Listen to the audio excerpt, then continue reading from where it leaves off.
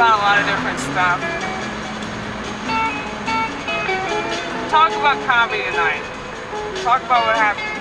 Oh my goodness, dude.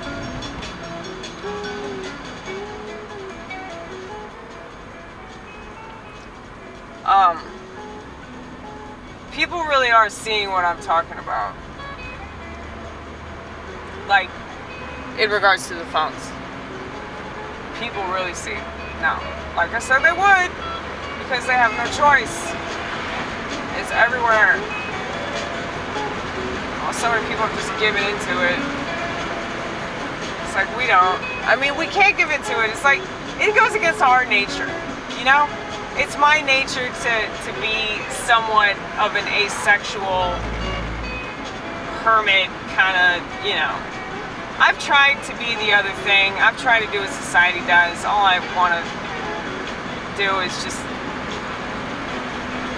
run off into the woods, you know? Like, it's just my natural tendency. And so it, like, literally hurts to, like, be around people sometimes, and, and I feel like I'm a bad person because I don't want what they want. And I know it's like, I have this responsibility because I have a uterus, you know, so it's like I feel like I'm letting the world down by not having a baby. But I don't trust this world, number one, but number two, like I don't I don't trust myself to, to be with a man and be able to raise a kid with that man.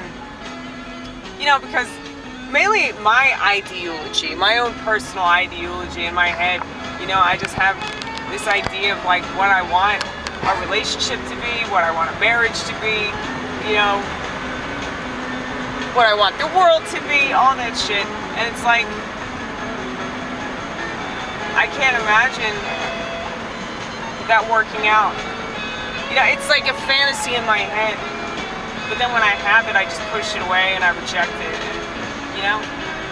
So it's like, I tried having that. And then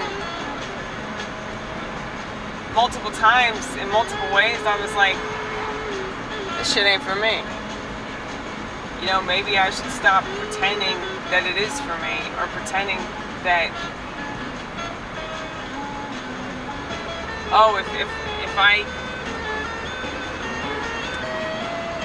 just with this person who has this thing, maybe he understands this idiosyncratic behavior of mine, you know? It's like, it still doesn't matter. The problem is me. The problem is never him. I mean, I, of course I've dated guys with problems, but it's like, it's it's not him. It's always me. I'm the common denominator. Oh my God, there was shit in the road. So I had to swerve. I had to swerve, but I could I could swerve earlier. I couldn't even swerve to not hit that armadillo. All these armadillos, what the fuck are they doing? They're just in the middle of the road. So crazy. Like I've seen so many armadillos, so many dead ones on the side of the road, and I've hit two in like the past what three days. You know, maybe they're suicidal, but they're not like conscious of that. Maybe, maybe. You don't have a fucking headache.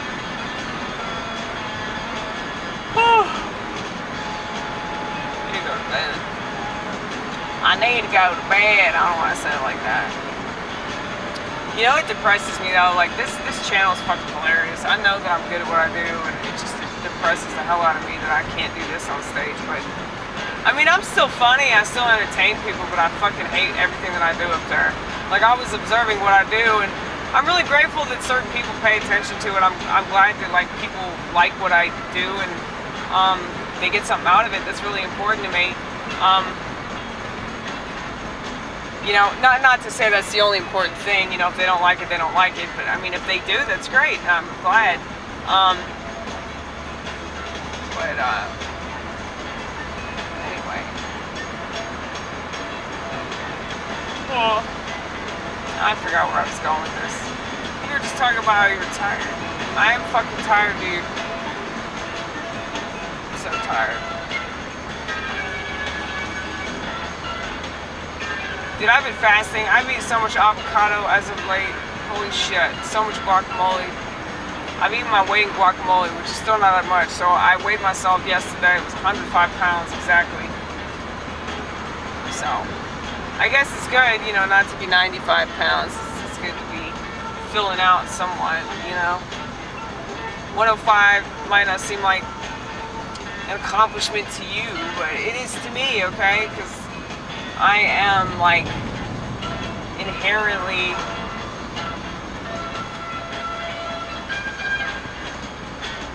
anorexic.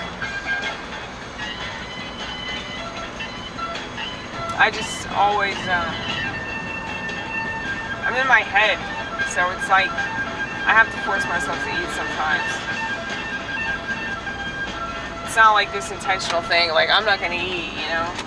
Maybe it was when I was younger, because I was depressed and I was just, whatever, self-destructive in any way. I could be self-destructive.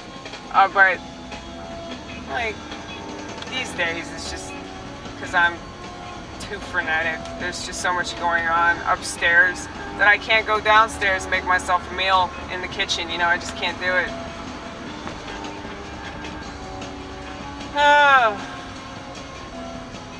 Because I don't want to be like one of those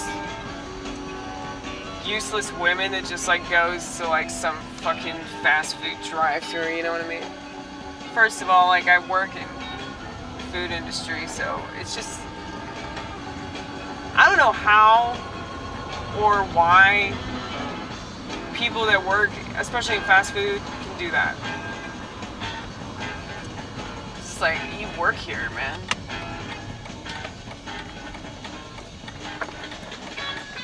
Aren't you aware of like how disgusting this shit is? You know, why would you want to to like yet another version of this? But anyway.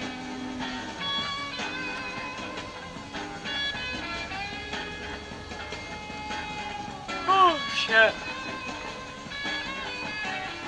You really didn't get that much sleep last night, that's why you're so tired now.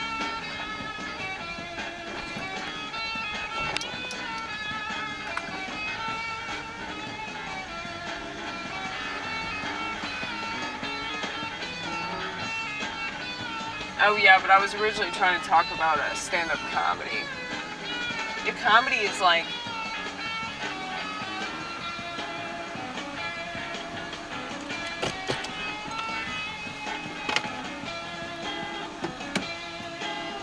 It's it's definitely not what it used to be, man. I mean, it's like trending, you know? Like all this stuff that people do. What I've noticed is like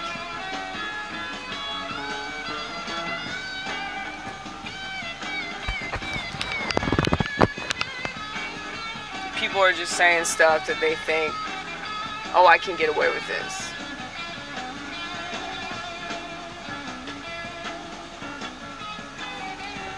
And are people that I see that are, are like taking actual risks that I think are like pushing it a lot more. But I can also see that it's like somewhat of a trope as well. I just, I hate how technology has just made everybody so boring, man. It's like everything's the same over and over and over again. You're like, oh, this is popular. This is popular. This is cool. This is what's styling right now, you know? Yeah, let's support like women ripping out their offspring. That's styling, you know?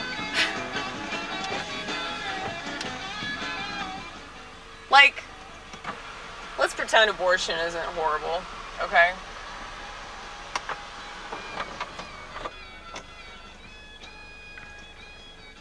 People just supporting something because it's the popular thing to support and trying to like act like they're any kind of edgy about that. You know? Can we just eliminate the word edgy?